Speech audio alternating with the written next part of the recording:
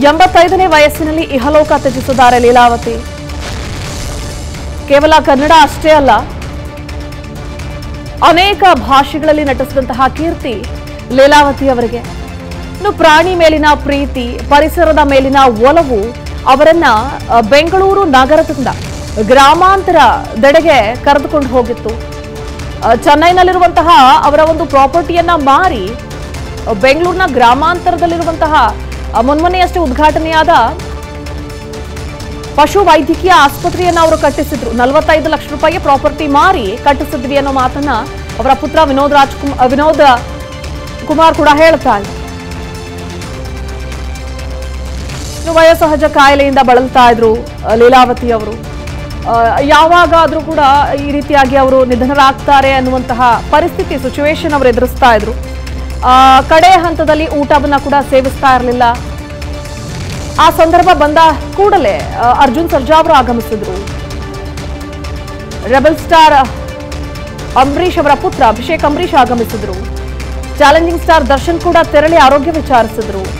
ಸುಧಾರಾಣಿ ಅವರಾಗಿರಬಹುದು, ನಟಿ ಶ್ರುತಿ, ನಟಿ ಮಾಳವಿಕಾ ಅವಿನಾಶ್, ಹೀಗೆ ಅನೇಕ ಚಿತ್ರರಂಗದ ಕಲಾವಿದೆಯರು ಕೂಡ ತೆರಳಿ, ಅಂದ್ರೆ ಅವರಿನ್ನೂ ನಗ್ನತ್ತ ಎಲ್ಲರನ್ನ ಗುರುತು ಹಿಡಿಯುವಂತಹ ಸಂದರ್ಭ ಕಳೆದ ಒಂದು ಎಂಟರಿಂದ ಹತ್ತು ತಿಂಗಳ ಹಿಂದೆ ಅಂತ ಕಾಣಿಸುತ್ತೆ. ಹೀಗೆ ಪ್ರತಿಯೊಬ್ಬ ಕಲಾವಿದೆಯರು ಕೂಡ ತೆರಳಿ ಅವರಿಗೆ ಆರೈಕೆ ಮಾಡಿ ಅವರ ಮನೆಯಲ್ಲಿ ಊಟೋಪಚಾರಗಳನ್ನು ಮಾಡಿ, ಅವರಿಗೆ ಬಡಿಸಿ ಒಂದು ರೀತಿ ಖುಷಿಯನ್ನ ವ್ಯಕ್ತಪಡಿಸಿದ್ರು. ಆ ಸಂದರ್ಭಕ್ಕೆ ಲೀಲಾವತಿ ಅವರು ಎಲ್ಲರನ್ನ ಗುರುತು ಹಿಡಿತಾ ಇದ್ರು. ಅಂದ್ರೆ ಕಳೆದ ಒಂದು ಎಂಟು ಹತ್ತು ತಿಂಗಳ ಹಿಂದಷ್ಟೇ. ಗುರುತು ಹಿಡಿತಾ ಇದ್ರು, ಎಲ್ಲರನ್ನು ಮಾತಾಡಿಸ್ತಾ ಇದ್ರು. ಆರಾಮಾಗಿದ್ರು. ಆದ್ರೆ ದಿನ ಕಳೆದಂತೆ ಅವರಿಗೆ ಎಂಬತ್ತೈದು ವರ್ಷ ವಯಸ್ಸಾಗಿತ್ತು. ಈ ಇಳಿ ವಯಸ್ಸಿನಲ್ಲಿ ಸಹಜವಾಗಿ ನಾವೆಲ್ಲ ಐವತ್ತು ವರ್ಷಕ್ಕೆ ಆಯಸ್ಸು ಒಂದು ರೀತಿ ಮನುಷ್ಯನ ಆಯಸ್ಸು, ನೀರಿನ ಮೇಲೆ ಗುಳ್ಳೆ ಇದ್ದಂತೆ ಅಂತ ಸಾಕಷ್ಟು ಬಾರಿ ಹಿರಿಯರು ಅನುಭವ ಇರುವಂತಹ ಅನೇಕರು ಹೇಳ್ತಾ ಇರ್ತಾರೆ. ಅಂತಹದ್ರಲ್ಲಿ ಕನ್ನಡ, ತಮಿಳು, ತೆಲುಗು, ಮಲಯಾಳಂ ಹೀಗೆ ಸಾಕಷ್ಟು ಭಾಷೆಗಳಲ್ಲಿ, ಆರುನೂರಕ್ಕೂ ಅಧಿಕ ಚಿತ್ರಗಳಲ್ಲಿ ಬಣ್ಣ ಹಚ್ಚಿದಂತಹ ಕಲಾವಿದ ಲೀಲಾವತಿ ಅವರು ಕನ್ನಡದಲ್ಲಿ ಸುಮಾರು ನಾನೂರು ಚಿತ್ರಗಳಲ್ಲಿ ಅಭಿನಯಿಸಿದ್ರು. ಒಂದಲ್ಲ, ಎರಡಲ್ಲ.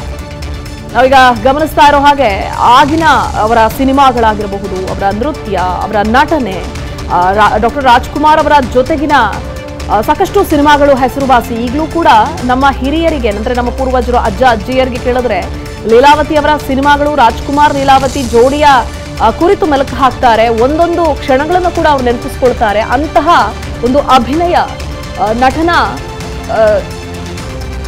ಕಲಾವಿದೆ ನಟಶಾರದೆ ಅಂತ ನಾವೇನು ಕರಿತೀವಿ? ಒಲಿದು ಬಂದಿತ್ತು ಅಂತ ಹೇಳ್ಬೋದು ಲೀಲಾವತಿ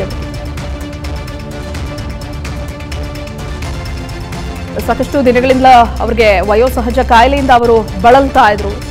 ಕಡಕಡೆ ಹಂತದಲ್ಲಿ ಊಟವನ್ನ ಸೇವಿಸೋದಕ್ಕಾಗ್ತಾ ಇರಲಿಲ್ಲ. ಕೇವಲ ಡ್ರಿಪ್ಸ್ ಮೂಲಕವೇ ಅವರು ಜೀವಿಸ್ತಾ ಇದ್ರು.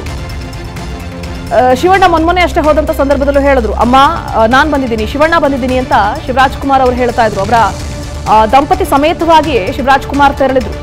ಲೀಲಾವತಿ ಅವರನ್ನ ನೋಡೋದಕ್ಕೆ ಅಂತ. ರಂಗಭೂಮಿ ಕಲಾವಿದೆಯಾಗಿರುವಂತಹ ಲೀಲಾವತಿ ಅವರು ಸಾಕಷ್ಟು ಏಳು ಬೀಳುಗಳನ್ನ ಕಂಡಿರುವಂತಹ ಮಹಾನಟಿ ಅಂದ್ರೂ ತಪ್ಪಾಗ್ಲಿಕ್ಕಿಲ್ಲ. ಯಾಕಂದ್ರೆ ಒಂದು ಒಂದ್ ರೀತಿ ಚಿಕ್ಕಂದಿನಿಂದಲೂ ಕೂಡ ಹತ್ತಾರು ನಾಟಕಗಳಲ್ಲಿ ಅಭಿನಯಿಸಿದ್ರು. ಹನ್ನೊಂದನೇ ವಯಸ್ಸಿನಲ್ಲೇ ಸಿನಿ ರಂಗಕ್ಕೆ ಕಾಲಿಟ್ಟಿದ್ರು ಲೀಲಾವತಿ ಅವರು. ಅವರ ಹನ್ನೊಂದನೇ ವಯಸ್ಸಿದೆ ಸಾವಿರದ ಒಂಬೈನೂರ ನಲವತ್ತೊಂಬತ್ತರಲ್ಲಿ ತೆರೆಕಂಡ ನಾಗಕನ್ನಿಕಾ ಚಿತ್ರದಲ್ಲಿ ಸಖಿಯ ಪಾತ್ರ ನಿರ್ವಹಿಸಿದ್ರು ಲೀಲಾವತಿ ಅಮ್ಮನವರು. ಚಂಚಲ ಕುಮಾರಿ ಎಂಬ ಪಾತ್ರದಿಂದ ಚಂದನವನಕ್ಕೆ ಎಂಟ್ರಿ ಕೊಡ್ತಾರೆ. ಸಾಕಷ್ಟು ಸದ್ದು ಮಾಡ್ತಾರೆ ಚಿರಪರಿಚಿತರಾಗ್ತಾರೆ ದಕ್ಷಿಣ ಕನ್ನಡ ಜಿಲ್ಲೆಯ ಬೆಳತಂಗಡಿಯಲ್ಲಿ ಲೀಲಾವತಿ ಅಮ್ಮನವರ ಅಮ್ಮನವರ ಜನನ ಆಗುತ್ತೆ. ನಾಯಕಿಯಾಗಿ ಸಾವಿರದ ಒಂಬೈನೂರ ಐವತ್ತೆಂಟರಲ್ಲಿ ತೆರೆಕಂಡ ಡಾಕ್ಟರ್ ರಾಜ್ಕುಮಾರ್ ಜೊತೆ ನಟಿಸಿದಂತಹ ಮೊದಲ ಚಿತ್ರ ರಣಧೀರ ಕಂಠೀರವ. ಡಾಕ್ಟರ್ ರಾಜಲೀಲಾ ಜೋಡಿ ಅಂದ್ರೆ ಆಗಿನ ಪೀಳಿಗೆಗೆ ಅಥವಾ ಆಗಿನ ಜನರೇಷನ್ ಅಲ್ಲಿ ಒಂದು ದೊಡ್ಡ ಮಟ್ಟದ ಹೆಸರು ಮಾಡಿದಂತಹ ಜೋಡಿ ಅದು. ಅಣ್ಣಾವರ ಚಿತ್ರಗಳಲ್ಲಿ ನಾಯಕಿ, ಪೋಷಕ ನಟಿಯಾಗಿ ಅಭಿನಯಿಸಿದ್ರು ಡಾಕ್ಟರ್ ರಾಜ್ ಅವರ ನಲವತ್ತಾರು ಚಿತ್ರಗಳಲ್ಲಿ ಬಣ್ಣ ಹಚ್ಚಿದಂತಹ ಹೆಗ್ಗಳಿಕೆ ನಟಿ ಲೀಲಾವತಿ ಅವರಿಗೆ ಸಲ್ಲುತ್ತೆ. ಸಾವಿರದ ಒಂಬೈನೂರ ನಲವತ್ತೊಂಬತ್ತರಿಂದ ಎರಡ್ ಸಾವಿರದ ಒಂಬತ್ತರವರೆಗೂ ಕೂಡ ಬಣ್ಣದ ಜಗತ್ತಿನಲ್ಲಿ ಸಕ್ರಿಯರಾಗಿ ನಟಿಸ್ತಾನೆ ಇದ್ರು ಒಂದಲ್ಲ ಒಂದು ಪಾತ್ರಗಳಲ್ಲಿ. ಇದೀಗ ಅಂತಹ ಮಹಾನ್ ಕಲಾವಿದೆ ಚಿತ್ರರಂಗಕ್ಕೆ ಅವರ ಮಾರ್ಗದರ್ಶನ ಆಗಿರಬಹುದು. ಜೊತೆಗೆ ಅವರ ಸಲಹೆ, ಸೂಚನೆಗಳು, ಅವರ ಇರುವಿಕೆ ಬಹಳಷ್ಟು ಸಹಕಾರಿ ಈ ಸಂದರ್ಭದಲ್ಲಿ. ಸಾವಿರದ ಒಂಬೈನೂರ ಮೂವತ್ತೆಂಟರಲ್ಲಿ ಲೀಲಾವತಿಯವರ ಜನನ ಆಗುತ್ತೆ. ದಕ್ಷಿಣ ಕನ್ನಡ ಜಿಲ್ಲೆ ಬೆಳತಂಗಡಿಯಲ್ಲಿ ಅವರ ಹುಟ್ಟೂರಾಗುತ್ತೆ. ಆರುನೂರಕ್ಕೂ ಹೆಚ್ಚು ಸಿನಿಮಾಗಳಲ್ಲಿ ಅವರು ನಟಿಸಿದ್ದಾರೆ. ನಾನೂರಕ್ಕೂ ಹೆಚ್ಚು ಕನ್ನಡ ಸಿನಿಮಾಗಳಲ್ಲಿ ನಟಿಸಿರುವಂತಹ ಕೀರ್ತಿ ಅವರಿಗೆ ಸಲ್ಲುತ್ತೆ. ಅನುಕ್ಷಣದ ಸುದ್ದಿಗಳಿಗಾಗಿ ವಿಸ್ತಾರ ಯೂಟ್ಯೂಬ್ ಚಾನೆಲ್ ಸಬ್ಸ್ಕ್ರೈಬ್ ಮಾಡಿ, ಬೆಲ್ ಐಕಾನ್ ಕ್ಲಿಕ್ ಮಾಡಿ. ಸುದ್ದಿಗಳ ಅಪ್ಡೇಟ್ಸ್ಗಾಗಿ ವಿಸ್ತಾರ ಆಪ್ ಡೌನ್ಲೋಡ್ ಮಾಡಿ. ವಿಸ್ತಾರ ನ್ಯೂಸ್ ನಿಖರ ಜನಪರ.